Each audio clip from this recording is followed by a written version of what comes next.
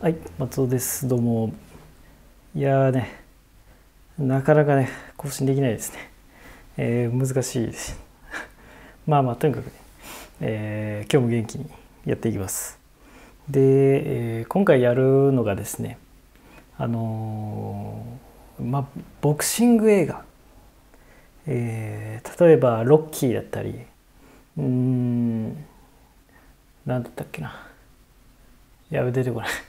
まあまあまあまあまあいろいろあるじゃないですかボクシング。あボックスとかもそうですね。あれは日本のやつですね。まあそういうボクシング映画の、えー試合シーンに対して、えーまあ、一応僕、まあ、趣味みたいな感じで、まあのんべんだらりとですけど、えーまあ、格闘技、まあ、20年弱ぐらいえーやってきたんで別にそんなプロとかではないですけど、まあ、プロと一緒に練習したりはしてましたけど全然プロでも何でもない、まあ、ただのお遊びを、まあ、20年近くやってただけなんですけどまあそのねこう経験を生かして、えーボクシング映画まあボクシングだけじゃなくてこう格闘技の映画の、えーちょっと違和感っていうものに関してねちょっと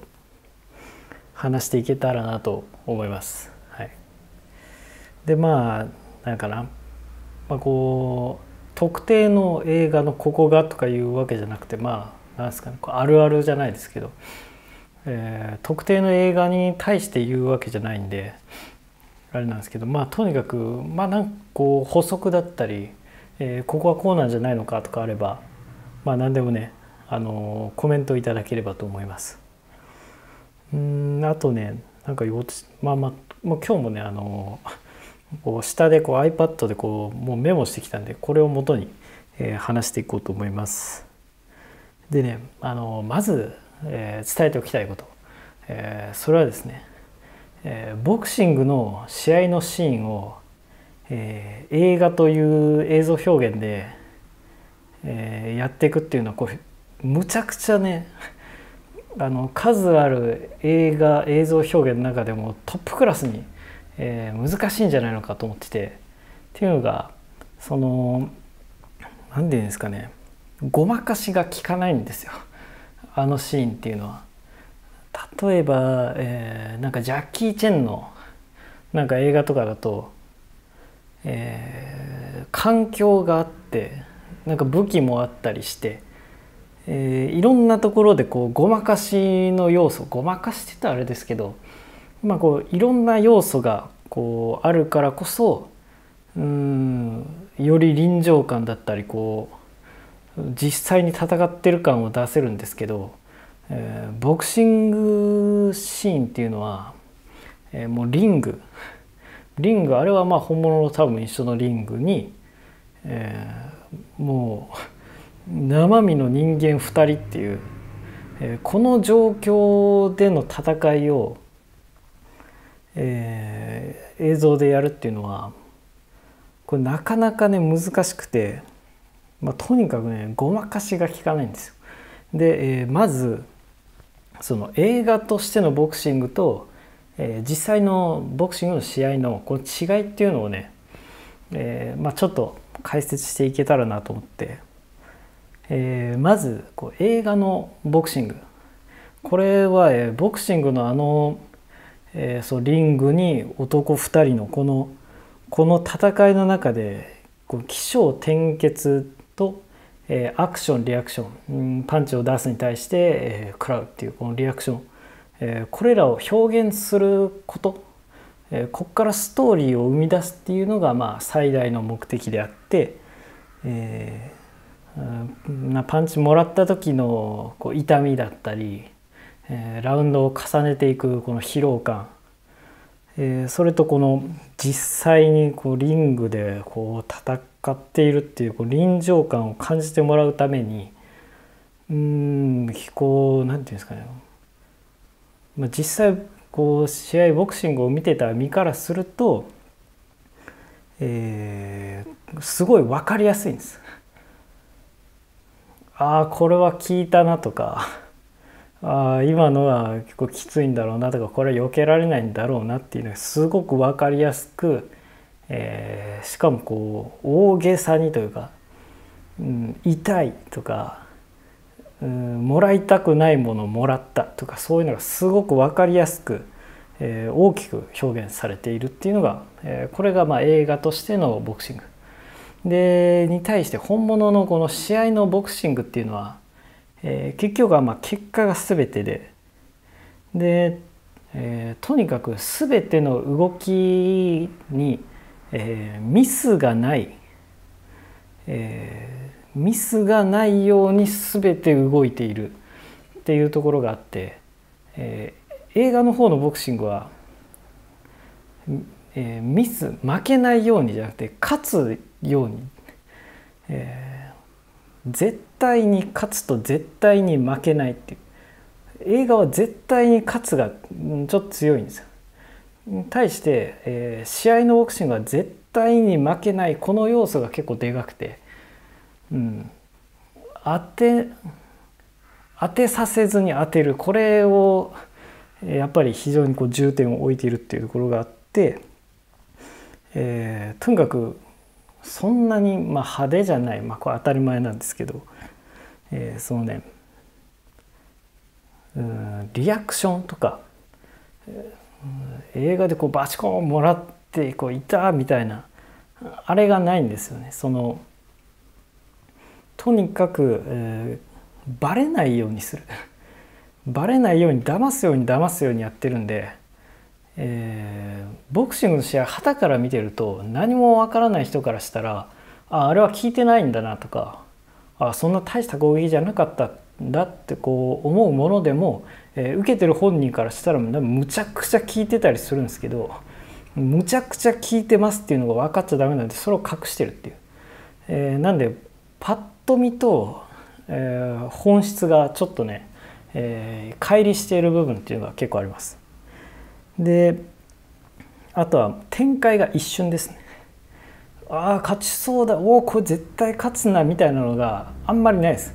ああ終わったみたいな。終わっちゃったみたいなのが結構多い。だからそのなんか勝ちそうとかああこっから這い上がるんだみたいなのは、まあ、ほぼないで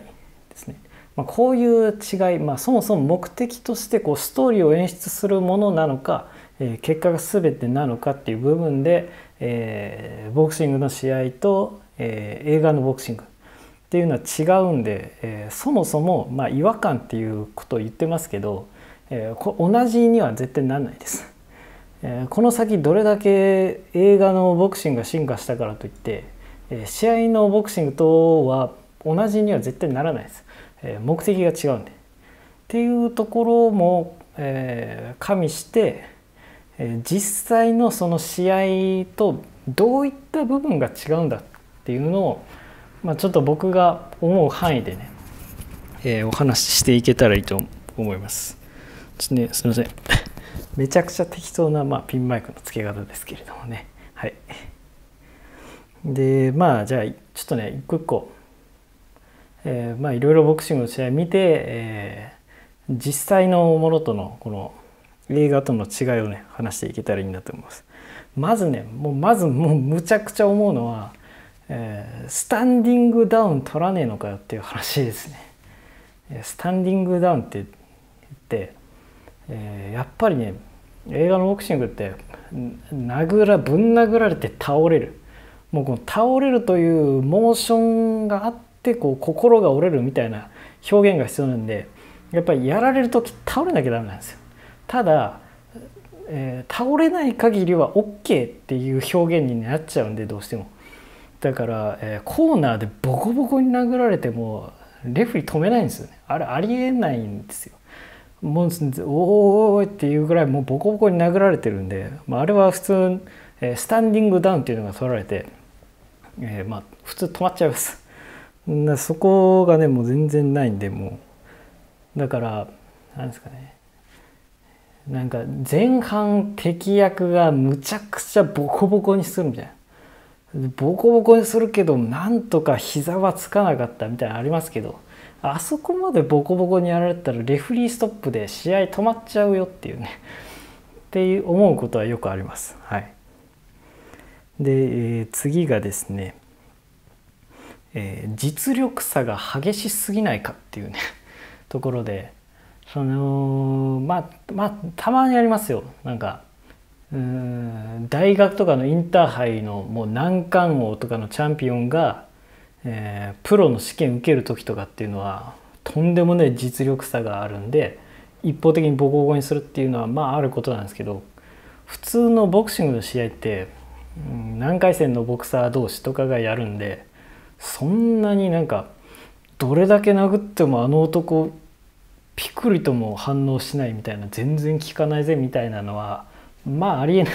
ありえないなと思いながら見てます。でもまあそこでこうやっぱ強さっていうのをねこう思いっきり表現映像で表現しないとダメなんで仕方ないんですけどまあありえないですねあれは。っていうところですね。うん、世界チャンピオンと、うん、地区大会準優勝ぐらいのやつが 戦ってもあんなにねなんか差は出ないと思います。で次がねあのベタ足で打ち合いすぎっていうところが、えー、まあありますね。うん、やっぱまあボクシングって殴り合うスポーツなんで、えー、殴るんですけど何て言うんですかねあのこうボクシングまあ絶対打たれたくないわけです本来の試合だと。打たれたくないで、まあ、相手と階級同じだから、まあ、リッチさが同じぐらいと。ということは自分のパンチが当たる距離は相手のパンチが当たるんで、えー、ここは避けないといけないということで、えー、普通自分のパンチも当たらないところ、えー、相手のパンチの届くところより半歩後ろがまあ安全な普通にいるところみたいな感じでいざという時だけその範囲を破って打ち合うっていうね部分なんですけどあの、えー、その間合いのやり取りがないんでもう常に、えー、両者のパンチが当たる距離になんか常にいるっていう。もうそこでもうボコボコに打ち合うっていうねシーンがよくありますよ、ね、だから、えー、本来踏み込みっていうのがまあボクシングはそんなにないですけどまあとにかく安全なとこからポンってこう踏み込んで打つっていうところがえー、あんまりねあの表現されてないんでもうね踏み込むシーンっていうのがあんまりないなって思いました。はい、まあでもその踏み込む前ってね映像的に見るとむっちゃつまんない映像なんで、まあ、そこはね、まあ、省かれちゃうんだろうなっていうところですね。その本来は一番試合の時は、えー、どのタイミングで踏み込むかっていうこのフェイントからのえ踏み込んで打つっていうこのここがまあ醍醐味って言ったらあれなんですけどそこの読み合いの部分があるんですけどその読み合いってこう映像ではなかなかね表現しづらいんでやっぱりなくしちゃうんでしょうね。うん、あと、えー、また次の話なんですけど、まあ、どんなボクシング映画でもそうですよね試合の後もう顔もうボコボコになってますよね。ボコボコになっってる割にあのカット全然しないんですよね。カットっていうのは、えー、まあ切れちゃうことですね。えー、ボクシングのあのグローブっていうのは革でできてて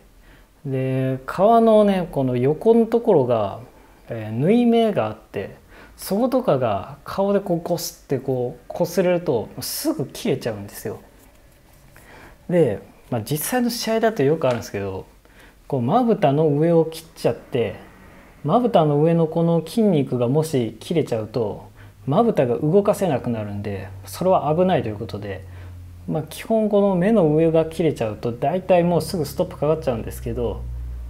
まあ切れない。ですね映画では。そんな終わり方嫌なんでねなんかうんしょうがない。かみたい。な感じの終わり方をしちゃうんでやっぱりそうい。うのって。だからまあカッとする特殊メイクはしててもまあここは切れない。ですね。うん、まあ当たり前っちゃ当たり前なんですけどね。でえっ、と次。もう致命的なダウンっていうのがやっぱ格闘技にはあってもう完全に脳が揺れてもこうなんていうんですかね。スリッ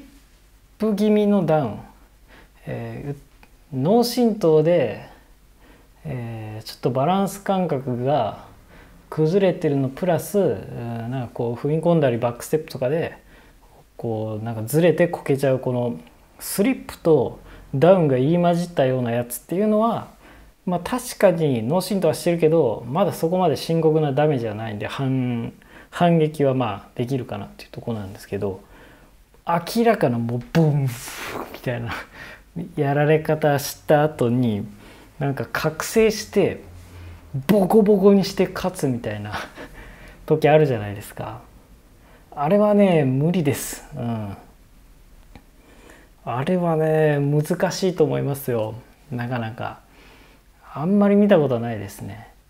うん。その、まあ、確かにまあまあなダウンもらった後に逆転する時ってあるんですけど、えー、そういう時はもう覚醒して一方的にボコボコにするんじゃなくて、えーまあ、一回ダウン取られて起きて向こう側があこれもう一発入れればもう一回ダウンしてもう二度と立たなくなるからもう思いっきり今攻めようってなってガー来る時あるんですよ。でその時にこう相打ち覚悟で、えー、打ったやつがうまいこと入って向こうも効いちゃう。でもう、えー、そのまま失神 KO だったりもう同じぐらいのダメージを与えちゃう。でそっからの乱打戦で、えー、両者のこの相打ち覚悟のバンジが入って、えー、そこで倒したことによる、えー、逆転 KO っていうのはあるんですけどそのなんか覚醒してボコボコにするっていうあれはね見たことないですね正直。まあまあ何回かはあるでしょうけどまあ起きないことだと思います。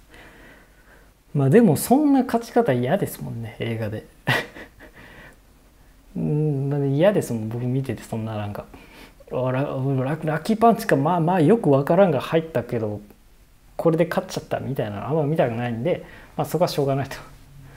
まあ、やっぱりねそのやられてダウン中に今までのトレーニングの日々と愛する妻とかをこうプッと思い出してバチン立ってね戦うみたいな。もうあの9秒8ぐらいで起きて戦うみたいな。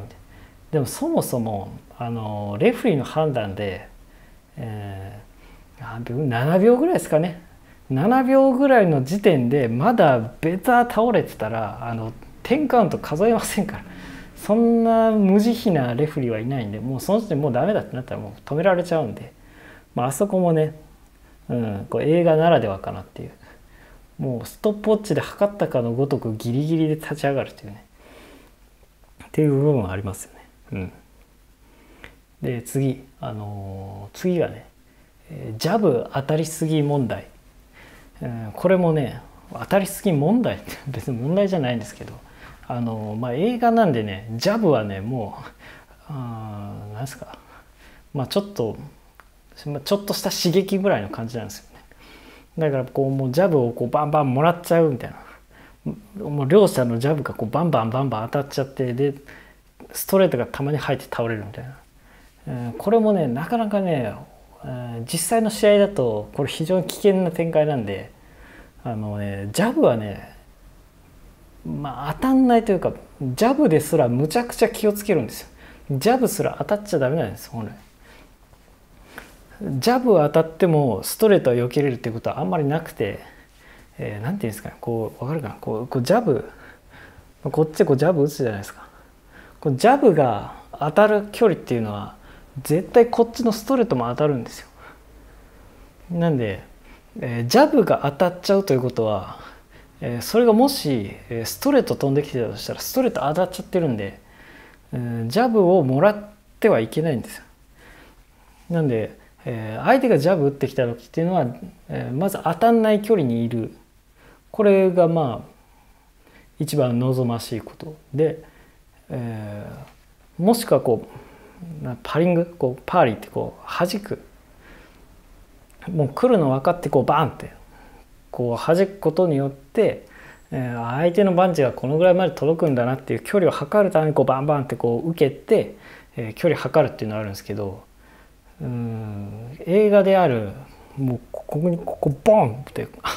あこっちか。こっちでこうガンってこう思いっきりブロックするっていうことはね、うん、ややっちゃいけないというか、うん、そうなるともう危険なんですよ。えー、自分で分からずにもうここで受けるしかない状態でジャブもらってるってことはもう次ワンツー来たら、えー、2のストレート入っちゃうんで2のストレートをガードしてても効いちゃうんで、えー、とにかくジャブがねむっちゃ当たるんですよ映画のボクシングってあれはねうんなまあ、なリスキーまあでもしょそそれもそれもあの映画のボクシングなんでまあしょうがないと。こう、まあ、あれはバンバンもらっておきながらも渾身のやつは間一髪受けるみたいな、うん、っていう展開がやっぱりこうスリルが必要なんでジャブはもらっとかなきゃダメなんですけど。ただ実際だと、えー、ジャブ来た時にえー、そんなガンガン受けてるってたらもうそのまま一気に、えー、234入れたり、えー、ワンツーフックボディとかこうもう全部 届いちゃう距離にもう自分が危険地帯にもう行っちゃうってことなんで、えー、それはまあ基本ないです。はい、っていうまあねもういろいろ今話してますけど全然違うんですとにかく。ボクシング映画だからなるべくはボクシングの映画ボクシングの試合っぽくうん、まあ、映像的には表現してるんですけどあれはあくまでもやっぱりスリリングなボクシング映画映画ですねやっぱり。映画として楽しまないとボクシングの本当の試合としては見ちゃいけないですね。でこういう話してるとね多分もう気になっちゃうんですよ。そのやっぱりボクシング映画は試合とは違うな多分思っちゃうと思うんですけどもうこれはしょうがないことなんで、まあ、その違いをね今話してこうおおこういうのが違うんだと思っておここは映画っぽいなみたいな感じでこう楽しんでね受け取ってもらえるとありがたいです。で今だからまあジャブ当たりすぎ。で次がね、えー、痛痛がりすぎ、うん。まあ、これもあの冒頭のねその映画と試合の違いで話したんですけどあの映画はやっぱり、えー、思いっきりパンチを打ちましたっていうのに対してその思いっきりのパンチが、当たって相手に効きましたっていうのを映像の中で表現しないといけないんでやっぱ痛がんなきゃいけないです。もうブフワンってこうスローにしたりして。もう絶対に痛いんだろうなっていう顔をしてるんですけどあれはねあの試合ではやっちゃダメですね。そのバレちゃダメなんで、えー、これが効いたと思われたらもう一回あれを打とうってなっちゃうんで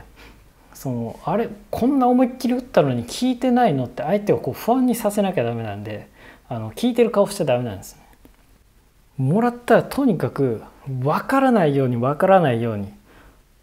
まあ、そう打たれたら顔は動いちゃうんですけどそのそすぐ戻ってもそのままこう「あ当たってないですけど」ぐらいの感じにしないとまあいけないんですよ。ただ、えーまあ、それやっちゃうと分かんないんで、えー、その脳震盪でふらつく。これは映画じゃなくて実際でもまあよくあることで。パンチクール危ないでバックステップするでも当たっちゃう。でふらついてる状態でこうバックステップの着地に失敗してよろけるみたいな。これはね本当にあります。これは本当にありますけどまあ稀ですね、まあ、普通パンチ当たってもう何ぐらいの感じで、えー、頭の中でうわ効いちゃったなっていう思考ではいますけどその顔には出さないですね。うん。でまあそれにまあ付随してというかえー、こうフォロースルーが長い。やっぱりねその渾身のパンチ打つシーンっていうのはこう大事なシーンなんで、えー、カットを割ったりして、えー、こう打ち始め、えー、相手の、えー、なんかこう構えてるところとかこう受けようとするところみたいなカットでパンチが伸びるところで当たるところスローでその後もまだこうとにかく打ち抜いてますっていう表現を映像でやんなきゃダメなんで。あのフォロースルーがすごい長いんですよ。こっからこう打ってもうこのままもうボシャーンみたいなドカーンみたいなこういうのが結構あるんですけどあれはねあんまり実際にはないですね。あのもう本当にぶっ倒してやるんだみたいな時はもうこうぶん回して当てるっていうことあるんですけど、えー、基本はうんまああんもなんていうの基本の前提として、えー、よく言われるのは出す時のスピードよりも引く時の方が速いんですよ。そのこう打ってる時っていうのはこうガードできないんでこの期間はなるべく少なくして次の攻撃につなげないといけないんで、えー、打ったらもうそれよりも早く戻すっていう。もうここのキレこれが大事なんですけどこれ映画でやっちゃうとなもう見えないみたいな。見えないみたいになっちゃうし、えー、聞いてる感もないんで、えー、やんないんだと思うんですけど普通は打ったらもう戻ってます。相手が当たってこうブンってなってる時にはもう戻ってるもしくはもう次のこう動きに入ってるっていう感じだと思います。はい、とにかくねこう引きが遅いんですよ映画のやつはやっぱ大げさにやんなきゃいけないんで。なんでこうスコーンとこうやってるとおおってなりますけどまあ見てったら多分つまんなくなっちゃうんでねよくないですね。で、まあ、これ最後なんですけどあのディフェンスのシーン、まあ、あんまりそもそも、えー、ボクシング映画でディフェンスしてるところってあんまりないと思うんですけどボクシングという、まあ、格闘技全てに、まあ、通ずると思うんですけどあの攻撃より防御の方がまあ大事なんですよもちろん。もらわなければ、えー、自分は無事なんで、えー、そのことが一番大事なんでとにかくもらわないっていう練習、まあ、そっちの方が大事なんですよ。プロと、えーまあ、素人のパンチ力は多分パンチングマシンとかで測ったら、まあ、そこまで圧倒的な差は出ないかもしれないんですけど、えー、なんせ素人のパンチは当たんないんですよプロには。もうとにかく距離感とかこうもらわない練習ばっかりしてるんでとにかくこうディフェンスが大事あのメイウェザーとかを発音変ですメイウェザーとかも、まあ、そうですねこう L 字ガードとかこうすごいボディーワークで受けてみたいなあの凄さあれがやっぱ試合では見どころになるんですけどどうしてもやっぱりこう攻めがね先行しちゃいますよね映画は。で、ディフェンスするシーンもあるんですけどあのまあしょうしょうがないんですけど打ち合わせ感がすごいですよね。えーパンチを下げる時にギリギリでパンチが来るギリギリで映画って避けてるんですよ。まあ、その方がやっぱスリルあるじゃないですかこう当たる当たんないこうあ当たんなかったみたいなギリギリギリのかっこいいんでそのこう向こうのパンチの速さも分かるしそれをギリギリでかわすっていうのもこう両方がこう伝わるんでギリギリの方がいいんですけどでも普通ボクシングでパンチを切る時って相手の癖とかを見てあこいつはこの踏みか踏み込み方してワンツーってきたら次絶対フック来るなっていうのを、えー、あらかじめ考えたりした上でいくんで相手がワンツーツー打ってきた段階でこう潜ったりして、えー、相手の攻撃来る前からもう避け始めるんですよ。まあそうしないと間に合わないんでそう予測してからえ、予測して、動くんでそんなギリギリにならないんでうんもしあれが映画でそういう動きになっちゃうと多分ね空振り感すごいんですよあの打った側の。なんなぜなら打つ前から相手はもう避け始めてるから避け始めてる状態なのにこいつ打ち始めてるなっていう絵になっちゃうんでちょっとこうダサくなっちゃうんですよね。ただ実際だとその脳の伝達とかのこうギリギリのやり取りでやってるんで相手がパンチ打つより前から動いてるんですよあれ結構ほとんど場合が。っていうところであんなにねギリギリかわすっていうことはまずないですね。うん、っていうところですね。うん、まあこれ、まあ、こんなところですかねとりあえずなんかまあ、えー、思ったことをまとめようかなと思ったらこんなもんですかね。とにかくね、うん、まあ一緒にしちゃダメなんですよ。あのボクシングの実際の試合と映画は一緒にしちゃいけなくてでも映画はなるべくえー、本物に近づけようとはしてるんですけど、えー、今言ったところをじゃあ全部改善したら、えー、めっちゃ面白いボクシング映画になるのかっていうとこれなんないんですよね。多分すごい地味だしうん盛り上がるところもないしなんか展開もなんかよくわかんないまま終わっちゃったみたいになっちゃうしっていうところで、ね、今言った部分全部を本物っぽくすればいいっていうもんでもなくてやっぱり、うん、映像作品としてのボクシングと、えー、この試合のこう本物のボクシングっていうこのね2つ、うん、ただね、うん、他のこうボクシング以外のなんだろうなレースとかうんなんかまあまあ映画っていろいろあるじゃないですか。